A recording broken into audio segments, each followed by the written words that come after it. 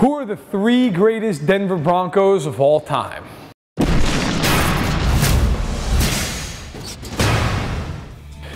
Denver has had a lot of great players over the years. Three Super Bowl championships bear that out. But of course, the Broncos have one player who everybody looks at, even today, John Elway. Elway now the general manager with a Super Bowl ring, nice new and shiny.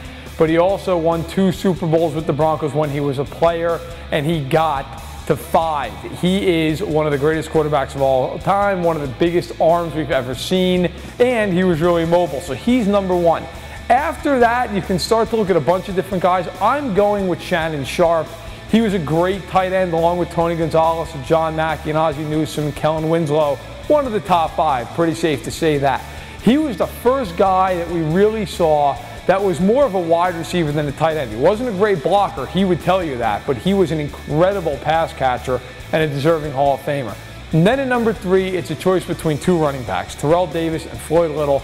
I'm going with Terrell Davis. Little was great. He's in the Hall of Fame. Davis may never get there with his career being cut short by a knee injury, but he was a phenomenal, transcendent talent, had a 2,000 yard season. He's the kind of guy that was the reason the Broncos went from a very good team to a great team, was the bell cow for those two Super Bowl champions in 1997 and 1998. Honorable mention going to guys like Steve Atwater, Karl Mecklenburg, and Tom Jackson.